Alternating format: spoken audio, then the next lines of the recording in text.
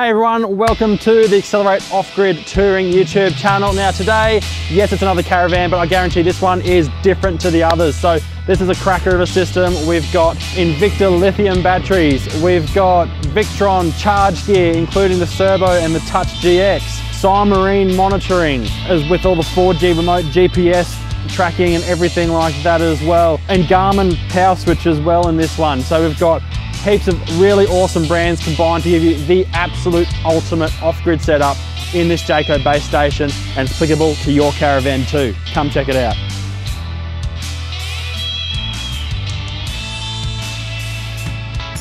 Righto, so right at the heart of every off-grid system, of course, you need a really strong backbone. That backbone is your battery system, or the batteries themselves.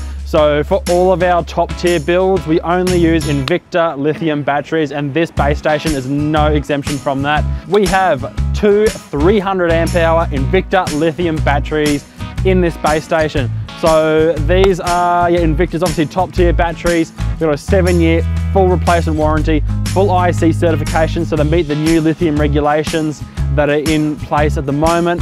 Um, they have obviously a very high discharge rating, which means running the 3000 watt inverter charger in this sucker, um, it is, they are going to keep up no dramas at all. These batteries have been sealed up, obviously, to meet the new certifications, but we'll insert some footage over the top of this so you can see what they look like. Um, but follow me guys, open wide, come inside. It's not play school, but it is a big green Jayco and we'll show you the rest of the system. So despite their large capacity and their huge ability to run, you know, obviously massive inverters like we've got in here, the Invicta 300 amp hour lithiums are actually a fairly small unit physically. So right under me, just in this small section of the couch, is where the two 300 amp hour lithiums are stored here. So massive 600 amp hours of lithium right under my butt, all sealed up, ready to roll. Now, I mentioned before, Invicta have a seven year warranty. It's not just any seven year warranty. They've got a seven year full replacement warranty on their batteries, meaning that anywhere in Australia, if you have any issues, you're fully covered uh, for peace of mind. It's the guys at SPB Invicta are absolute legends to deal with. They are by far the best battery, in my opinion, on the market for recreational use. Every off-grid system needs the ability to charge from your car while you're driving. For this van, by customer request, we've ditched the usual red and green products and have gone for the mighty blue Victron gears. So, this one is using Victron's 50 amp Orion DC to DC charger.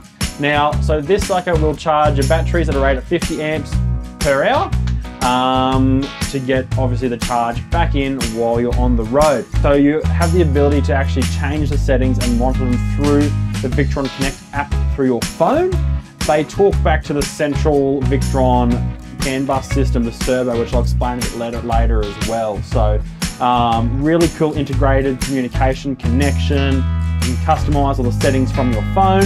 They obviously prevent the battery from overcharge, over discharge, full four stage smart charging as well. So obviously a charger is going to get these batteries ramped up nice and quickly while you're on the road. This is an ideal solution. One of the extra added benefits of going Victron as well is their five year full replacement warranty as well. So really great warranty on this product. I mean, so this model here, like I said before, is the 50 amp version. Victron traditionally did a 30 amp. This is the 50. So this one is that bit larger, obviously a larger battery bank, bigger bucket to fill. We're trying to fill a bucket as quickly as possible. Any, obviously we could go multiples of 50. Issue is anything much more than a 50 amp alternator, most modern 12 volt tow vehicles aren't going to be able to, to sustain much more than that. So 50 amp is the ideal size uh, a good compromise between not putting too much strain on your vehicle's alternator and getting these batteries crammed back full as quick as possible. For the solar regulation side of things, we've also gone for the Victron product again here as well for a few reasons. So number one, and the main reason we've gone Victron,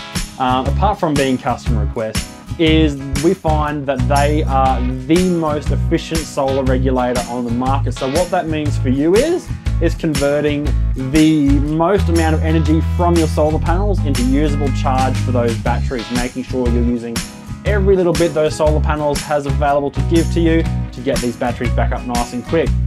So in this van, we've got two solar controllers. We've got the Victron 150 slash 60 and also the 100 slash 30. Now, the reason we're running two solar controllers, we're separating our banks of solar. So we've got obviously the big dog doing the six panels on the roof, and we've got the little 100-30 for a large external solar input, so for a portable blanket. Now, the reason we don't want to run all through the one regulator is if we have a smaller or a cheapy portable panel, if they're all through the one regulator, it has the potential to actually bring the performance of the rest of the panels on the roof down. So by separating them, separate regulators, we can not only see what each system is doing individually, but they also stay separate from each other so they don't have any effect or any ill effect on each other. As I mentioned with the DC-DC, it talks back via CAN bus to a, or CAN bus type system, back to the Victron Cerbo and the touch screen, which we will show you in a second. Not only that, if you're not integrating as part of that system, you also have the ability to just log onto your phone, go into the Victron solar controller and you can see all of your statistics. So you can see what your unregulated solar current and voltage is at. You can see your battery voltage and obviously, and the, most importantly, the current going into your batteries from the solar system. So you can see separate to everything else on your phone what your solar is doing.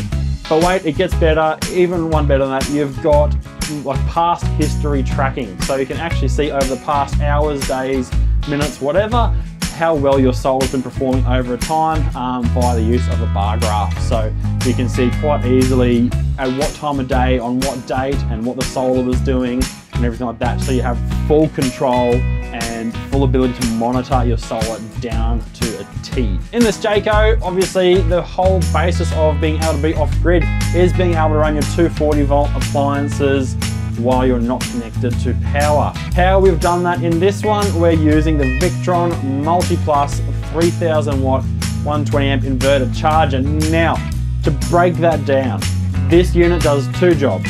So its main job, an inverter. So it's converting our 600 amp hours of 12 volt battery power into usable 240 volt power like you'd find at home through all your GPOs. That gives you the ability to run all of your favorite appliances off grid while you're not connected. So things like microwaves, induction cooktops, toasters, kettles, hair straighteners, hair dryers, anything that you'd normally run off of a 240 volt outlet at home, you're basically able to run it while you're off grid through this system.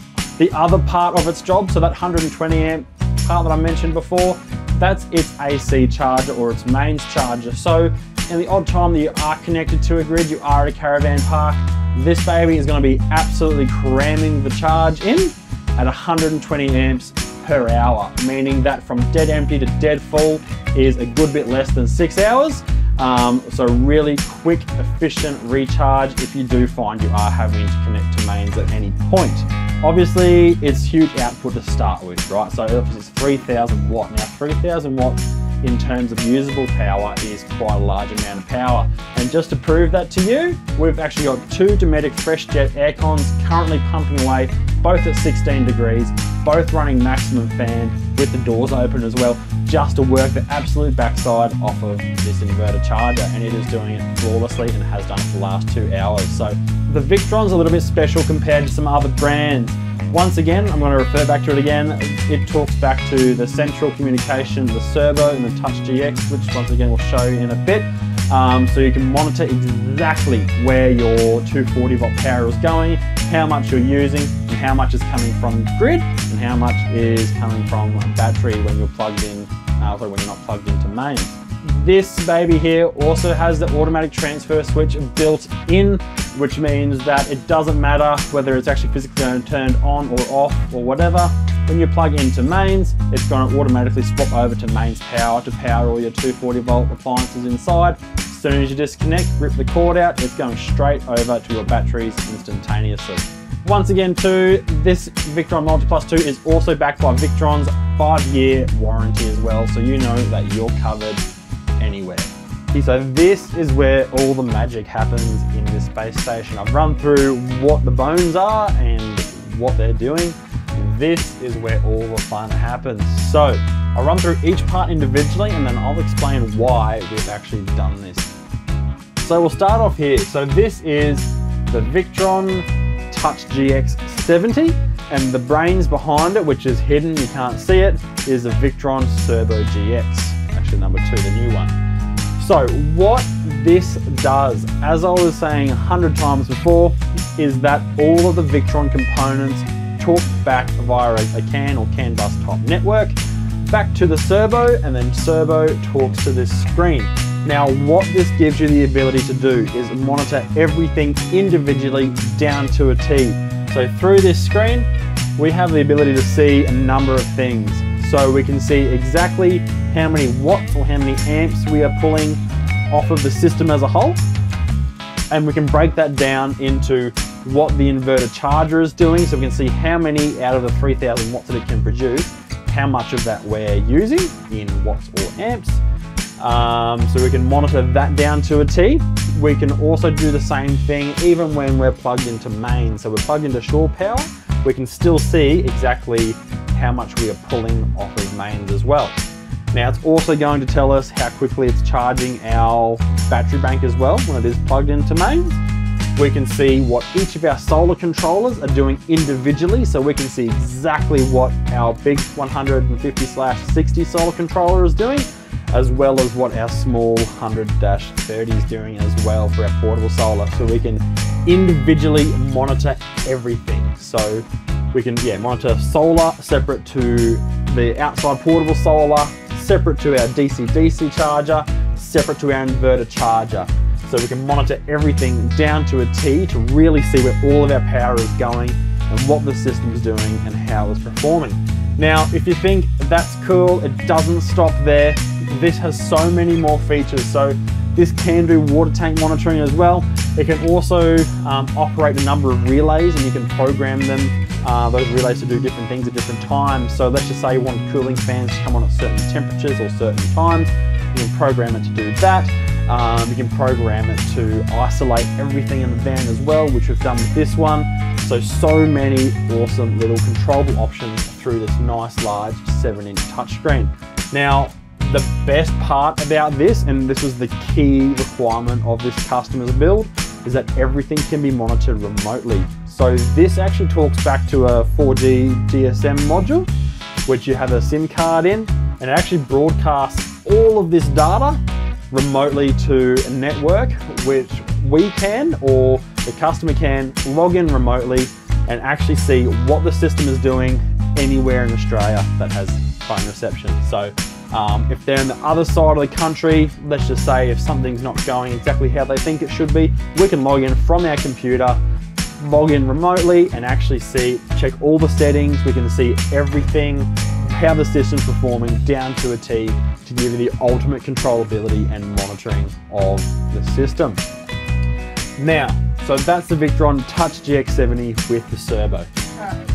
Okie dokie, so monitoring part two of this system, we've got Marine. Now, Marine gives you obviously a really clear, easy to see visual representation of how full your battery is percentage-wise. So we're sitting at 62% at the moment, gives us overall current flow as well. Now, the sole purpose for the Marine in this for is its ability to do individual monitoring of loads separate everything else. So with this, we can see independently to everything else, what the water pump's doing, what the fridge is doing, what our 12 volt hot water system is doing, how many amps our lights are pulling, what the Starlink's using, what the Starlink run individually through this as well, um, as well as all of our other 12 volt accessories. So we actually have everything listed separately so we can really pinpoint exactly where everything is, what it's doing, and what's going on with it. Not only that, we've also got all of our water tanks through here as well. So no more through the old Projecta system, they're all through here. We've got our, obviously, two fresh, one grey water tank up here. Um, and we can see very accurately how full or how empty they are. We've also got an inclinometer. I think I said that right. Um, so you can see your pitch and roll, so no need for a little level on your drawbar or that prehistoric type business. We've got a full digital inclinometer so you can get your van sitting perfectly flat and level. Other benefit, Marine now has experimental features which you can monitor remotely as well, meaning that once again for this customer, they want to be able to monitor everything remotely. So we can now achieve that with the onboard Wi-Fi or Starlink in this van. Um, so they can see from anywhere in Australia what's going on with their van. To control everything, obviously the old Projecta system used to turn a few things on or off. We've gone one better, deleted that.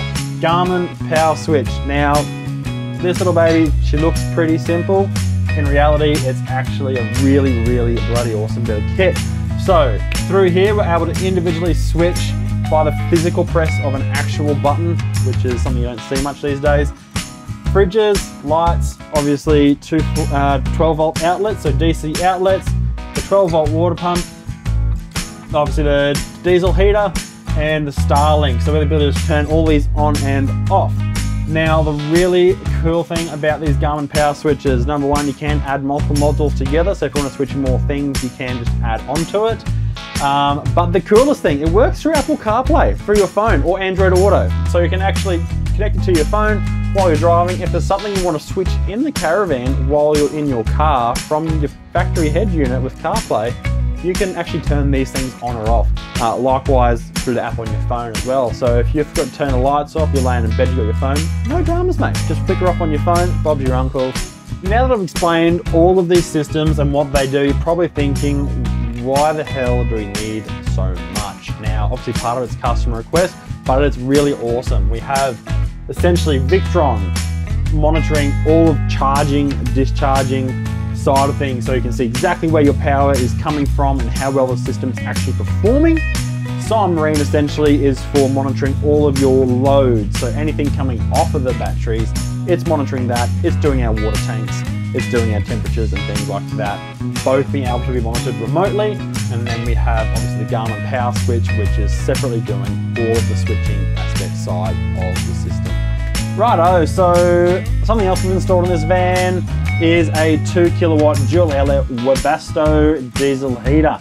So little controllers just beside the bed here. We've got both the vents in under my feet under the bed here. So obviously this sucker's twin outlet, so you have the option of obviously pointing vents two separate directions. We've got one pointing straight down the hall to go into the very back compartment and one basically pointing upwards to circulate around this immediate area.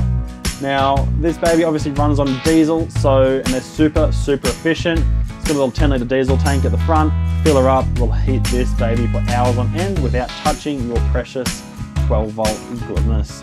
Um, so yeah, really, really effective way of heating your entire base station. On this bad boy, we've installed the BOS 3 rib long jack kit, so no more rubbish standard terrible jockey wheel that these come with. It's gone, bye-byes. We have one of these beautiful BOS jacks, operate via a drill, super quick up and down. Life is great once again. Now we've also done one better. We've replaced all the standard stabilizer legs as well, also with the BOS products. So these are the 500mm stabilizer legs. Same thing, operated via your drill, super nice and quick operation, and much, much heavier duty than the standard equipment these come with. So an absolute must in my opinion for a van of this size. Alright guys, that just about wraps up what we've done in this base station. Now, obviously we can do this system and more for your own caravan. So whether you're just starting out in your off-grid adventures or you've been doing this for a lifetime, please make sure you drop in and see us. There are no silly questions, so please, if you think you don't know much about it, please let us help you, educate you on this, so we can really help you achieve your off-grid dreams to stay away from the campgrounds and the people that you don't want to be near, get it on your own and living your own life. As always guys, thank you so much for watching. If you have any questions, make sure you drop them in the comment section down below. Shoot us a like and a subscribe. Check out some other caravan and touring builds up here and YouTube reckons you should watch this.